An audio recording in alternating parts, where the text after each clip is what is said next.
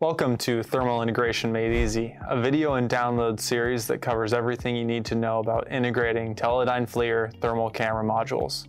Today, we're going to cover software integration with Boson and Boson Plus, and how the GUI can simplify and streamline the development process.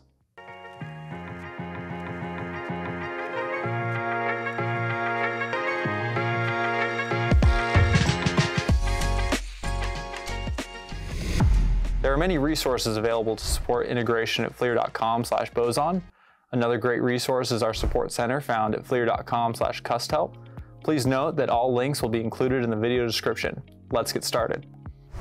The Boson GUI, which provides the ability to quickly access settings critical to high-speed integration cycles. Note that Windows 10 64-bit or newer is required to operate the Boson GUI. Integrators with the original Boson models require GUI 3.x and older, while Boson Plus models require GUI 4 and newer. To download the appropriate GUI and see the quick start guides at flir.com boson. The Boson SDK can be used on Windows and Linux systems and works using USB, UART, or I2C. The SDK is easiest to use on Python, but some libraries require compilation depending on the platform. Python provides a convenient command line interface for accessing camera API and set functions. Refer to the SDK documentation for specific commands and expected inputs or return values. The Boson SDK does not support video. Use OpenCV or a similar UVC library for streaming video or taking captures programmatically. The built-in Windows Camera app, Webcam Viewer, or similar webcam streaming application supports Boson's colorized post AGC video. Please see the video description for a link to the latest complete software IDD with a step-by-step -step process. While most functions remain the same, typically new functionality will be introduced in each release. For example, the most recent SDK now allows multiple cameras to be accessed in a single instance of the SDK. Please be sure to routinely check in for helpful SDK updates. If the SDK requires too much memory overhead to implement, or only a limited number of commands are needed, you can optimize performance by sending byte strings to the camera. Teledyne FLIR offers an example at github.com slash FLIR slash rawBoson on how to construct byte strings commands using the SDK commands from scratch without the SDK. There are three types of commands, run, set, and get.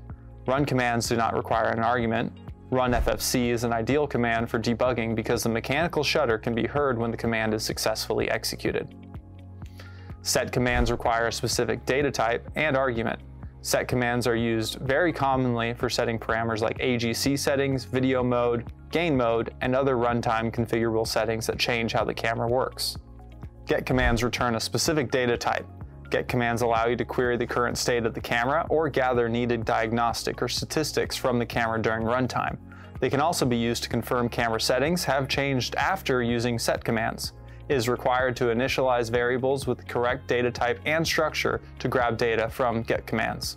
To use the Python SDK, open PowerShell in the folder containing the SDK.